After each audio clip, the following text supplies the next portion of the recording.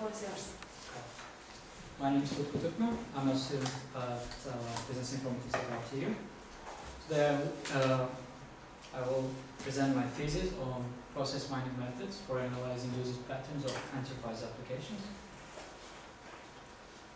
I'll start with talking about the agenda. Uh, as it follows, I will first explain the motivation of the thesis and uh, aim and the tasks of the thesis, and then the, I will explain you the theoretical background of process mining, uh, and the process mining itself. Then my practical part, I will follow with a case study that includes two analyses. The motivation of the thesis is that uh, business processes are always open for improvement, as we already know. And process mining stands out as a technique that models the that models the processes as they actually are. As process mining takes its roots from takes it uh, as process mining uses event logs to to model the processes, it actually uh, models it as, as it is. There's no there's no subject uh, there's no human uh, subjective point of it. Analyzing usage patterns with process mining can help to uh, improve enterprise application in terms of user interaction, which I just said.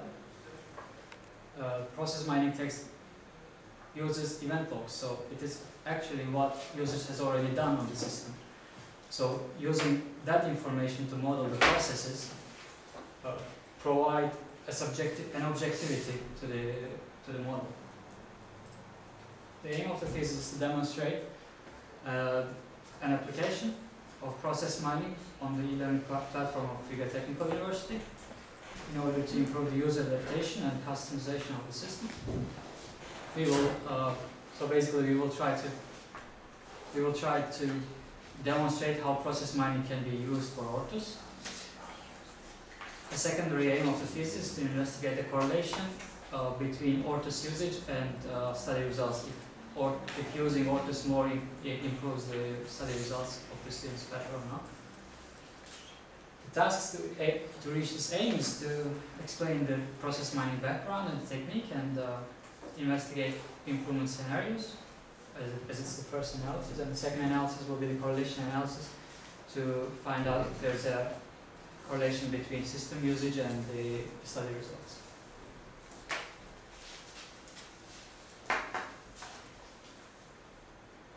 Process mining bridges data mining and actually process mining. It takes its technical roots from process mining in terms of its algorithms and so on. Not, not exactly, but similarly. And it takes it, it, take, it's, it relies on process mining in terms of the idea of it, it's used in some in somewhat uh, the same for the same reasons like redesigning and planning and so on. So process mining is the bridge between data mining and process modeling. The models that are created by process mining is used with the same reasons as process uh, traditional uh, business process management. Uh, the only the, the main difference here is that that in traditional BPM, the models are made by hand are not and are not based on rigorous analysis of existing process process data, but on process mining, it's based on the existing data. Process mining, as I said before, technically relies on data mining, but however, uh, data mining is a data-centric uh, technique.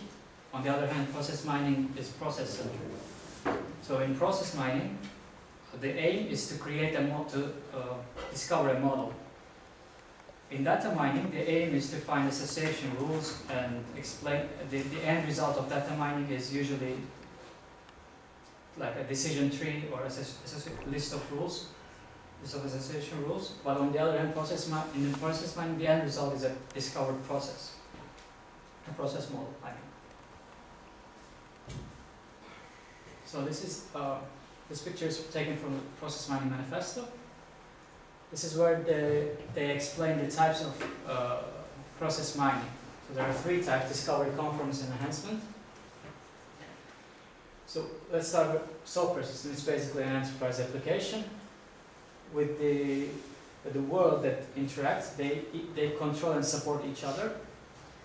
And as in almost all the enterprise applications, every uh, transaction or message is recorded in the event logs, and these event logs can be used uh, to create the process model for discovery, conformance, and enhancement reasons. Yeah. There, uh, these are purely process mining phases, but before this, just like in every process modeling technique, the, the main thing is, to understand it and understand the business domain and the, the background of the processes. And um, actually that's something that goes on through all the phases and it, it, it, it always is that doesn't you don't really understand it go on, just you always get back there time, time and time again. So extracting and converting the data, process mining process mining softwares need uh, the, the event logs in XES format. So while converting the data, converting that, in my case, for example, the Ortus format, or Ortus files, or Ortus event logs were extracted in Excel file. So there's a need to define each column, what, what it actually is, is a timestamp, resource, activity column, whatever. So that, that's how the data is converted. And choice of process discovery algorithm, I will explain this in better in my case study part, but there are um, more than one process discovery algorithm, so, so finding the most suitable one is a key point. And it's usually a try and fail uh, kind of uh, approach to find the, the best one. Uh, process discovery, well, the, the, the model itself, that the, which is the end result of the algorithm, and, and analyzing this discovery uh, process as, as as is process and modeling it and model like redesigning it as a to be process is the usually the ideal. There are more than uh, these two software tools. The reason why I singled out these two is that ProM is the main framework, is the framework, is the software for process mining, and Disco is the one that I mainly used in my uh, in my thesis. Disco is actually a, a commercial tool, which is not uh, as wide as ProM. No tool is as wide as ProM because it, it has a pluggable architecture and has over 400 plugins. It, ProM can do anything that can be done in process mining. However, Disco is uh, limited, but if your scope is right, in its scope, then, then it's, the, it's a very easy to use tool.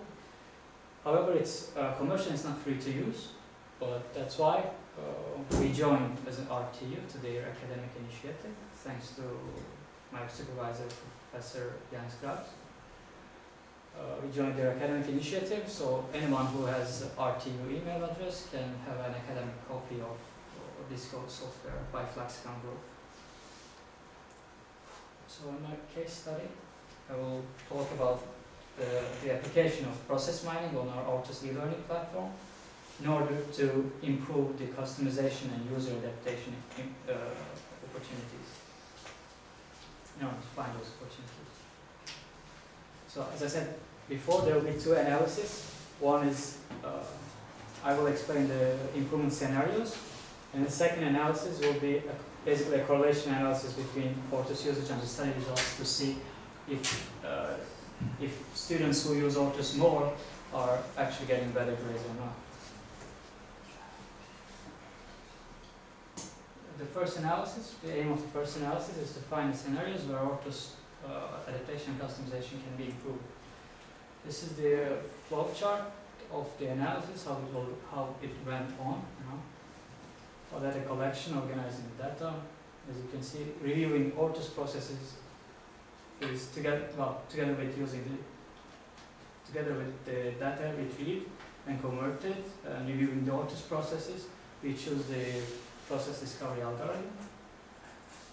And then, uh, and then, then we have kind of a loop here because inspecting the discovered model, if model is sufficient, well, it, it depends on exactly which scenario you in my case, exactly which scenario I was looking into.